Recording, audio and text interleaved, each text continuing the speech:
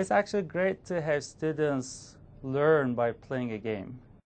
We were playing the INNOV8 game by IBM. I was pretty impressed because I wasn't expecting it to be in 3D. Awesome, you know, video game era. I game a lot, so if I could sit at home, you know, and game away and learn about operations management at the same time, that would help. Traditional methods are harder on professors because you have to attract attention. One thing that's also a challenge when you're lecturing is how do you draw the class in so they're not sort of falling asleep? How do you engage them? How are you making them think during real time? But in gaming, you know that students are already involved in a fun environment through the games. And to be able to play the game, you have to be engaged. I mean, there's not really an option of falling asleep. It's a lot more interesting and it kind of gets you thinking how the process works. If you change the business process, what impacts do you see in the end result? The students can see the diagram and they see that there's all these numbers in the background and they change the diagram and something else happens and there's some ability to make decisions based on that. The simulation was a little more interactive, it allowed you the opportunity to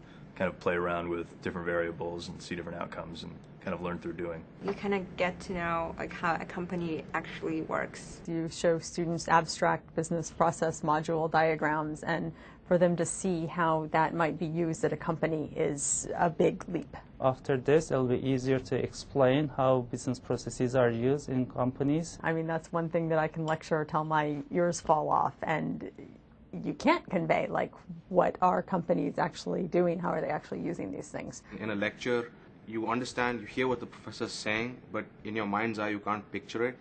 I think the game the interactive the level of interactivity in the game helped you to actually get a, a solid feel for the concepts in the class. Several of the things that are in the background of the game are things we'll talk about later in the course. It can be used in multiple stages so it's a good introductory game like we did this time. You can also utilize this at the end of the course to just to summarize the overall operations. To see that IBM is using this and understand how a company might use some of these diagrams to actually make decisions is really useful. So I think that's very exciting for students to be able to see that in the classroom. I won the game! I got fireworks!